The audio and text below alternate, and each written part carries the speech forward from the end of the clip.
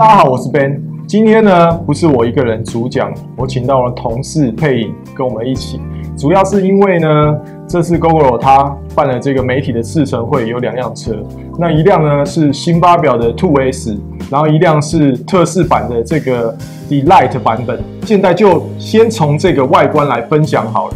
Delight 的金色跟它的水蓝色，再加上 S Two 的这个配色，嗯，其实都走了一个雾面的高质感的烤漆，嗯，那你觉得以 Delight 来讲，你觉得它的颜色怎么样？比较吸引我的是玫瑰金，但是因为我们四层借到的是水蓝嘛。那在大概半天相处的时间后，我觉得水蓝它其实是耐看的颜色。它在阳光下跟树荫下，它的颜色会有不同的感觉。我就觉得它那个整个质感有回复到以前一的那种更像精品的样子。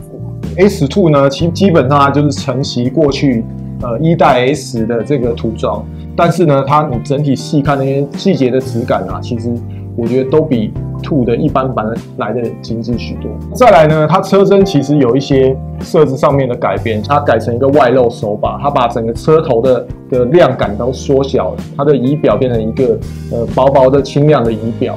那前面又加了一个短短的一一片小片的弧形的玻璃小风景，就让它的质感我觉得变得更明显。然后同时呢，外露手把。其实一直是在这个车圈改装里面算是蛮热门、年轻人喜欢的风格。在后扶手的部分呢，也跟一般版本不一样。它在后扶手是一般版本是往上凹的一个设计，嗯，那 S Two 是直直的往后延伸。我相信也因为这样子呢，它的车尾就会看起来更具动感。所以那 Delight 版本，你觉得它的造型？呃，一之前二它是像一般速可达一样有一个塑胶外壳的龙头嘛，对。那这次的 Delight 它也是用一个类罗把的设计，那我觉得在这方面以视觉上来讲的话，它的车头明显的小许多，就让这整台车感觉更轻盈。前阵子其实 GoGo 闹很大的就是 GoGo Two 这个前面的。散热孔会积一些灰尘，还有一些脏东西的部分。那这次呢，看到 GoGo 在车底下面有做了一个设计上的改变，嗯，那有开了一个洞，之后相信它这些脏东西呢，就可以很自然的从那个洞口排出去。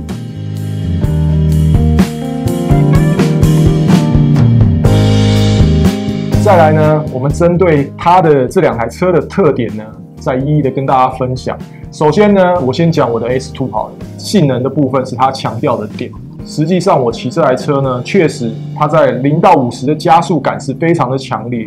尽管它的尾速呢，其实我觉得它的表现跟过去的 ES 其实是差不多，但是我觉得零到五十这个区间呢，确实可以在红绿灯的绿灯之后，跟其他的业务速可它拉开这个距离，所以其实在起跑的时候是很有爽度的。我觉得首先是它改了十二寸轮框之后，座位降低五公分，这个让我觉得还蛮有感。我骑 S Two 的时候，就是很明显我的脚是有点像跳芭蕾那样，要完全脚尖着地。那我骑 Delight 的话，就是自然的垫脚而已。再来，因为它是省力中柱嘛，对，省力中柱，它那个省力中柱，我真的觉得非常神奇。但是你以前金旺还有很好架吗？金旺它蛮好架，但是如果你是有一点坡度的地面的话，其实还是有一点难度。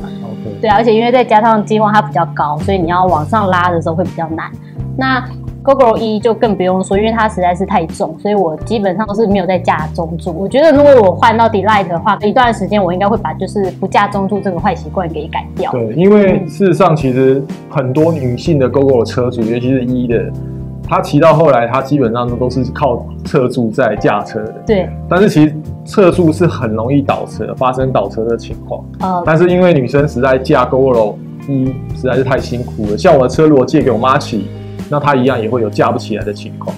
那所以，呃，轮框的部分缩小了，然后还有它的这个省力中柱，嗯，光这两点其实它就让女生 Delight 更适合女生骑乘。嗯，而且我觉得因为轮框十二寸的关系，所以在过弯的时候会觉得更顺畅，就是很轻盈，这样没有像一那么笨重的感觉。S Two 呢，因为它标榜的是性能。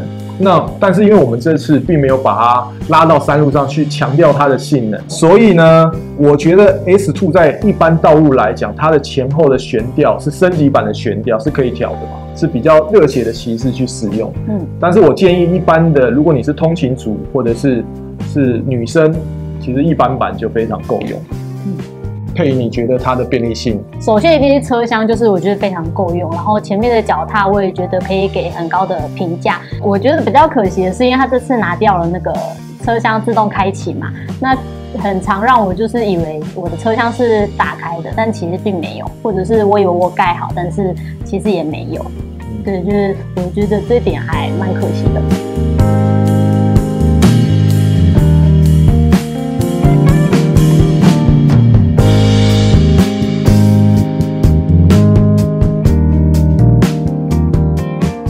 自动的部分呢，其实这次的 S Two 呢，它搭载了对视的辐射卡钳。那也因为这样呢，其实我们在交换骑的时候，我很明显的感受到这个 S Two 呢，在制动方面，我觉得是非常的厉害是不是还因为它有加大碟盘关系？对，因为它有加大碟盘，然后再加上其实它不管是 S 版或者是一般版的，它都是有联动的刹车系统。嗯，就是我们在交换骑之后嘛，我就明显感觉到 S 它刹车马上就是停下来的。对，但是。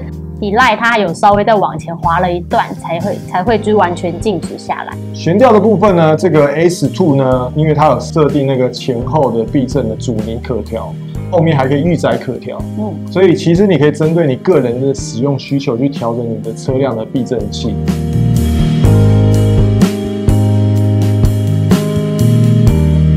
总结这次的试乘啊，S Two 跟 Delight。在外观上，我觉得它有回到 GoGo 一代精致的感觉。